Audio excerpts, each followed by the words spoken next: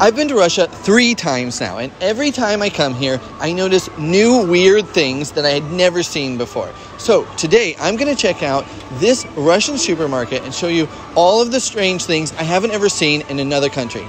Make sure to watch to the end to see all of the strangest types of Lay's potato chips that I've only seen here in Russia. This is one of the largest supermarkets in Russia. They call it a hypermarket or a hypermarket, so it's even bigger than a supermarket, and you can find almost anything here, which is why it's a perfect place to look for weird stuff. The alcohol aisle is huge. I mean, just liquor, brown liquor, is this long. It looks like a liquor store. Vodka basically has its own aisle inside of the supermarket I think there's at least a hundred different kinds of vodka here. They've got Kind Bear Eco Vodka, which is about $4 a bottle. There's also some hilarious brand names for vodka that are so Russian. They have a brand of vodka called Air, and it says, drink like breathing.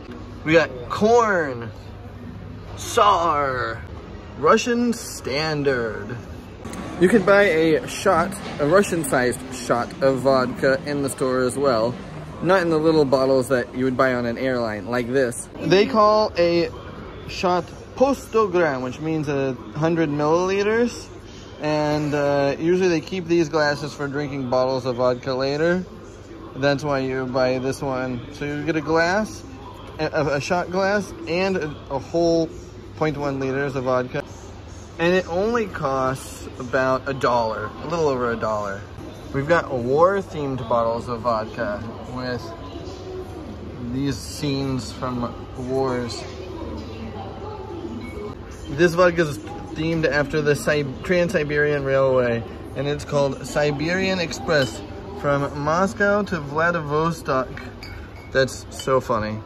This is evil vodkas, look vodka straight out of the Kremlin. I'm sure that uh, oligarchs just love to drink Legend of Kremlin. More Kremlin-themed vodka. The most holy vodka that you could possibly find, Siberia Orthodox. And of course, they've got vodka in a nesting doll. That's funny. They've also got a lot of kind of liquor from other countries from the former Soviet Union that Americans never tried before, like cha-cha. It's basically distilled grape liquor that's been filtered a lot of times. So if you made vodka out of grapes, you get cha-cha. They have their own version of moonshine called Samogon, and this one is made out of cedar nuts. Bread liquor, which tastes like bread. As you can see, it's got a piece of bread on the bottle. Hrenovka, horseradish and ginger. I bet that's super spicy. They love to put a lot of berries inside of liquor, and they call it nastoyka. They drink it at the end of the night after a lot of other drinks. Pro tip, never drink the nastoyka at the end of the night. The hangover is terrible. They got cherry cognac, chili, honey. honey. What is that one? Cranberry with honey. Cranberry honey, apricot, grass flavored, which is already 40%. This one even has a blade of grass in it vanilla chocolate flavored, pepper flavored, pine nuts.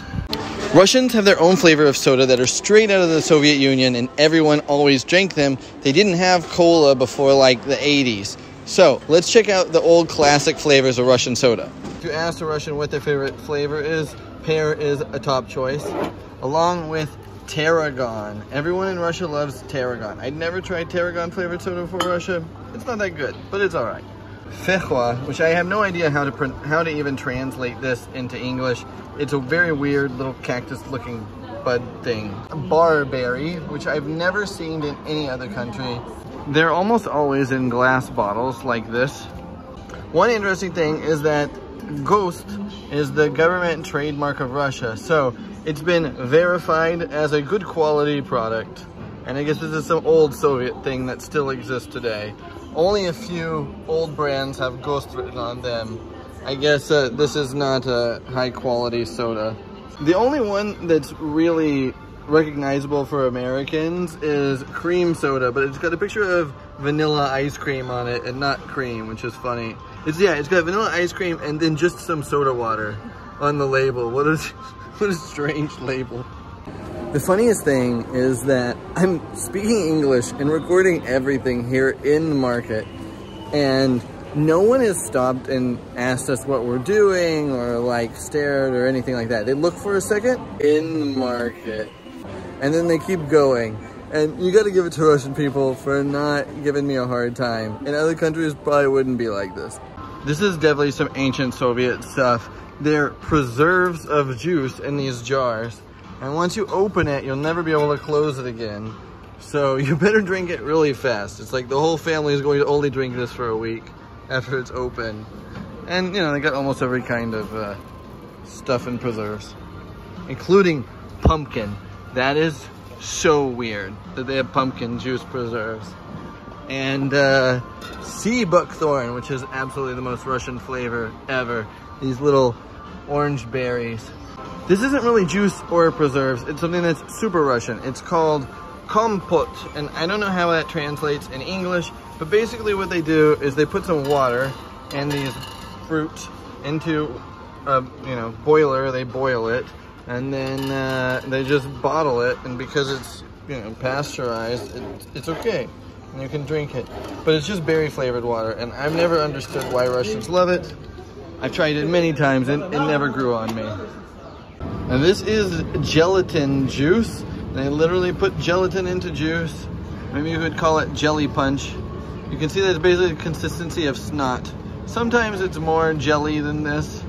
But yeah, this is probably about like 10% gel on his way to jello. In almost every Russian supermarket, they do this weird thing with beer. What do you think this is? This guy is literally bottling beer right now into these plastic bottles. I don't know where this originated, but they have it in almost every Russian supermarket. So yeah, they bottle the tap beer out of the kegs into plastic bottles, and then they put these labels on, and it looks so homemade. They're always sticky. It's very sticky. Foreign beers. A lot of beers they put in these bags. I don't know why they put it in the bag. I guess it's better if it's in a bag, in a bottle. Why do you need to put it in a bag, in a bottle? What is that about? This is a sin, that they would even make something that's bamboo beer. This looks pretty normal, right? It's just a bunch of Corona, but it's not because this one is from Britain. I don't know why Russians think Corona's from Britain. I'm sorry, Mexico. They don't know better. Uh, uh, they love this drink called kvass, which is basically beer without any alcohol. Tastes like something between bread and cola. And kids love it. Whenever they're drinking at the adult table, adults drinking beer, kids are drinking the kvass. This one is alive, which means it still has some bacteria in it. They have zero tolerance for driving drunk, and if you drink like two bottles of this, you can't go drive afterwards because you won't blow 0.00 because it has just a tiny bit of alcohol in it. And Russians love snacks with their beer, but they don't eat normal snacks like Lay's potato chips. No, they eat dried fish snacks.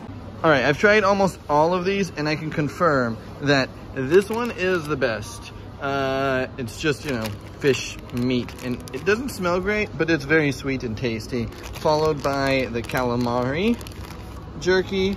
I do not like little bitty anchovies that are dried. Not my thing. Um, what else we got? This one's an assorted fish meat. They've got whole pieces of big fish. This one's got tails on it. Anything else is weird? huge pieces of fish that look like murder victim samples. And they also like these little dried fish. These ones are kind of still wet. They're only half dried. And uh, crawfish that are pickled is a delicacy. This is so expensive. How much money is that? It's like $80 for this giant jar. So I guess if on a big party they would have it. They like these really weird pastries too. I'll show you a couple now. This is Chak Chak, which is just a bunch of honey and cashews. And uh, this weird paste that's been dried out that is sunflower seeds. What is it called? Halva. Yeah, I don't know. I bet it's Turkish, actually. We have a disagreement about it. Nastya doesn't agree.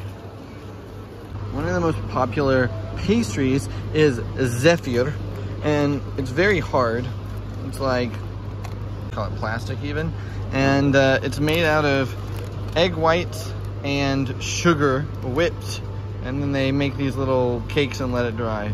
I've never liked it. I don't know why they like it. This is probably the most Russian thing that you can eat. It's called sushki. They're little pretzel rings, but they don't have any flavor to them at all. I don't know why they like them, but they eat them always with tea, and it's just a Russian tradition, I guess. Also, they like these goldfish, but they don't eat them dry. They put them in milk, like cereal. Pryanik.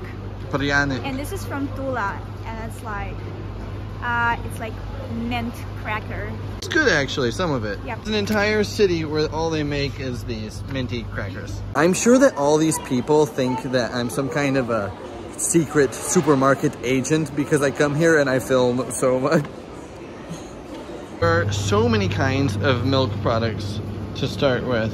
Some of them are foreign, but most of those are Russian. Russians eat fermented milk products almost every day of their life.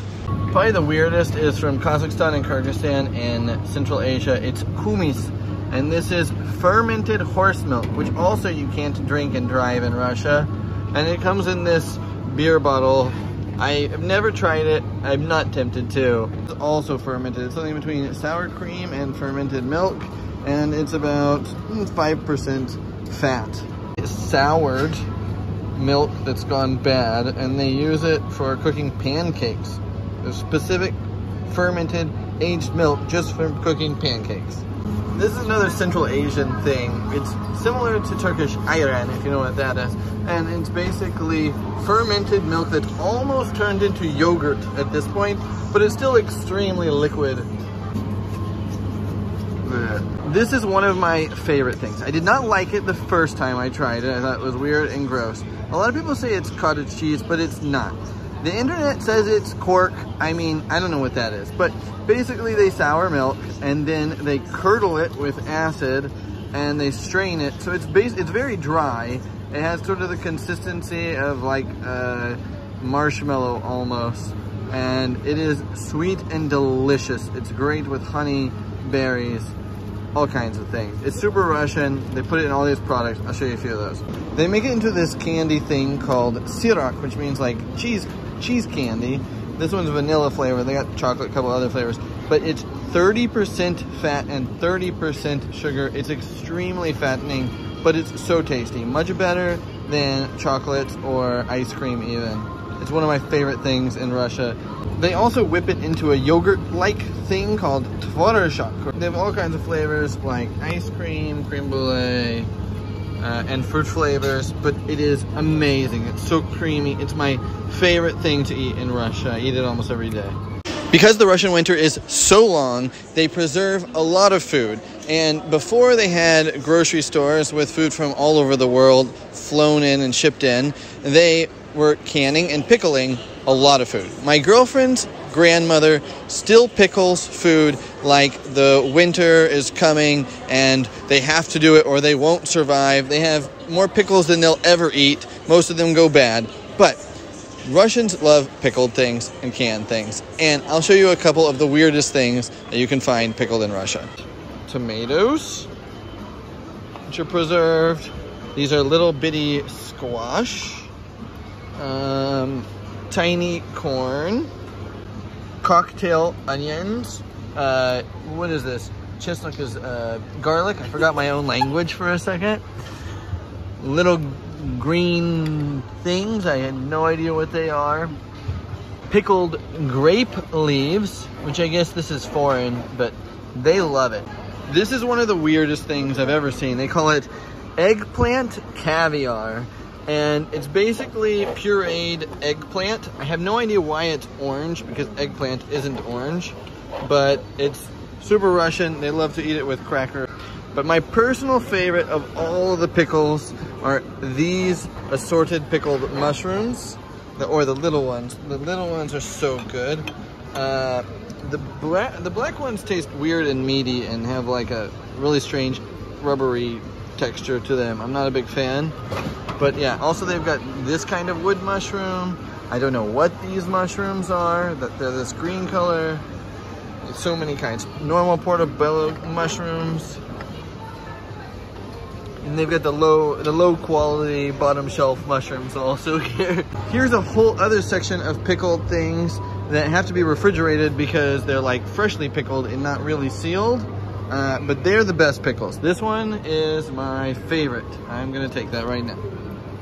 Even adults eat the baby food. They love to make preserved mashed vegetables. It's baby food. It's not a baby food. It's, It's just baby mashed, food. Mashed fruit, and it's very good. like, stop it. Another super typical Russian food is either canned fish over here. Look how many kinds of canned fish they have. Like every kind of canned fish you can imagine. And canned meats. The weirdest one is canned beef. Uh, it smells like cat food. I've had it before. They mix it with macaroni. It's for poor people. This is an expensive one. They've got much cheaper ones. This looks disgusting. Look how bad that looks. Oh wow, that's terrible. What is it? It's a Tushinaya. Yeah, it's Tushanka, but it's pig Tushanka. Oh my god, that's disgusting. Also, you can't close it after you open it because it's cut this type. So you have to eat this whole can of weird pig stuff. I'm gonna make it for you tomorrow. You're gonna make it. Is this all about the baby food? Yes. Yeah. This one is Oh, in God. gelatin. That's disgusting. Let's not watch. Let's not eat that, please. They've got a lot of normal kinds of sausage, but they also got this sausage that's rolled in cheese. They don't like to cook their bacon. Instead, they smoke it. And so it's still very fatty and it's not, it doesn't feel cooked at all, but they eat it like this. And I don't know, I still don't trust it. I don't like to eat it. It's basically just fat. They also have a version called salo, which is literally just pork fat. But yeah, all of this is uncooked. It's only smoked or salted, and then they uh, eat it raw, basically. And this might be the weirdest thing in the entire supermarket. It's called pashtet. It's pate, and this one is themed after a Soviet astronaut. You can see the SSSR on the helmet. CCCP is SSSR. And uh, yeah, it's a squeezed tube of pate. I've never tried it. Should we try it? No. Yeah, you're not about that? No. Okay. And you can see there's a whole section of different kinds of pate. I bet it smells delicious.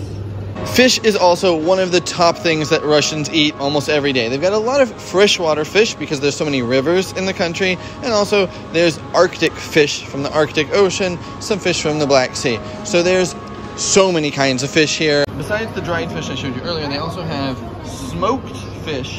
They put it in a smoker thing hanging, and uh, it doesn't smell that fishy. It looks much worse than it tastes. It's still soft and uh, delicious. But yeah, they got anchovies, these strange fish that I, I really like that one. It's super fatty. Here are just some buckets of uh, some, I guess, pickled or cured things. You can also buy caviar here. They have a whole caviar section with like five different kinds of fish. Black caviar, salmon caviar. Basically a line to get fish here at the counter. I feel really sorry for this guy. Uh, yeah, I, I, I- really do. He doesn't even fit in the tank. You would never see this in America, but this is a fresh live sturgeon, which is basically a dinosaur. And I know they're protected in America. Here they eat them, they harvest them. This one came from a farm. Uh. How much do you think this guy costs? There is a huge freezer that is entirely dedicated to caviar. It can be as cheap as like 400 for a can of salmon caviar, or as expensive as 150, 15,599 for this stuff. Other than alcohol, caviar is like the only thing that has these safety security tags on it in the entire store. Every one of these is either in a safety security box or it has one of those tags. Even the ones that are like 400 rubles because obviously it's the most stolen thing in Russia. they also have this, which is imitation. Uh, it's fake. I don't know how they make it, but imitation ikra. It's like a dollar fifty uh, for a jar. This one even claims it's vegan. Vegan caviar. Wow, you'd never find that in America. And there's also this dip, which has a little bit of caviar in it, and it's mostly mayonnaise that they all love. This is dried caviar, and it's basically made into chips that they freeze dried and packaged. There's also an entire freezer just for herring in all of its many forms. They even have one that's specifically made for this salad, herring in a fur coat, which you might have heard of before. But yes, herring is number one fish in Russia probably. Also like this seaweed stuff. I like it. It's it's actually really good. Uh, this one's like Asian style, but they also have one with mixed with a bunch of other carrots and stuff. Uh, there's one that's mixed with mayonnaise already. And This is an entire section not for real crab meat. No, no. It is all imitation crab meat in many different forms. They've got crab roll sticks, slices of imitation crab. This is imitation crab claws in the shape of claws. We got imitation lobster tails. This giant block of imitation something. So many kinds of imitation crab. They put it in salad with just a little bit of mayonnaise and yeah, probably mix it with that seaweed we saw.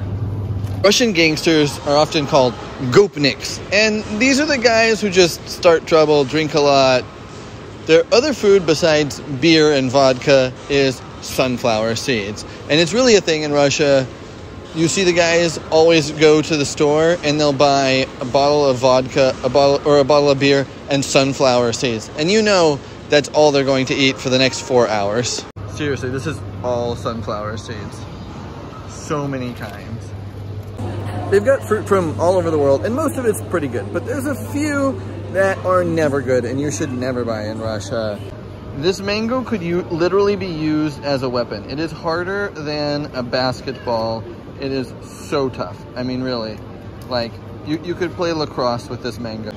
And avocados. This is not an avocado. It will never be an avocado. It looks like an avocado, but I don't know what they did. Same thing here, extremely hard, so hard. What is this strange green fruit? It says it's grapefruit, but I don't believe. I've never seen a grapefruit like that in my life. This is really funny. I thought I'd just throw it in with the video. This is a Coca-Cola container on the side of this uh, freezer aisle. And inside they have the brand that replaced Coca-Cola. It's made in the old Coca-Cola factories. It's not made by Coca-Cola, but, um, you know, we'll cover how that works in another video. They have a section of the supermarket just for saunas. So you've got this special wand that you use to put water on the, the sauna. They've got a timer that you flip upside down, an hourglass. Uh, I don't know what this thing is, but I think you just beat somebody with it. You put these in water, and they're called veniki. You, you hit people with them like for a massage. You wipe, put them in their face, and it's supposed to be, you know, really good smelling and delicious. Um, they've got buckets just for putting water and stuff in the banya. They've got mittens and hats to protect you from the heat. Special shoes just to wear funny stuff. And this is all of the kinds of essential oils that you use in the sauna, like mint, uh, orange, lemon. They don't really like normal flavors of mouthwash. Like they've got one kind of mint, but the majority are made out of other stuff. Uh, this is like balsam. This one's with ginger. You've got uh, oak and pine, which is very popular. lavender and pine. This one is some kind of flower. This one is lavender and pine. Uh, what else? We've got oak and pine again. This one is mint and it's blue, but it's also got this black oil in it, which has charcoal. Do not understand that. Here's another oily one. You can see the levels. Layers of oil in it. I tried it. I don't think it actually works or helps. I think it actually makes your mouth worse. Don't believe it. As promised, I'm going to show you all the flavors of Lay's potato chips that only exist in Russia. I think they're pretty fancy. Maybe you'll think they're disgusting. I like most of them. There's a pretty big selection of Lay's potato chips. They got normal flavors like salt, sour cream and onion, and cheese, but also lobster, which is one of my new favorites. Crab, which I think is the most popular in Russia. Grilled ribs, which I don't know how that's different from barbecue. I'll have to try it and check it out. And salmon with sour cream. Well, there are so many things that I could talk about that are weird here, but if you want to know how things changed in Russian supermarkets because of the sanctions, go check out my other video where I talk about some of the things I noticed that changed since my last trip where I was here before the sanctions. And have a great rest of your day.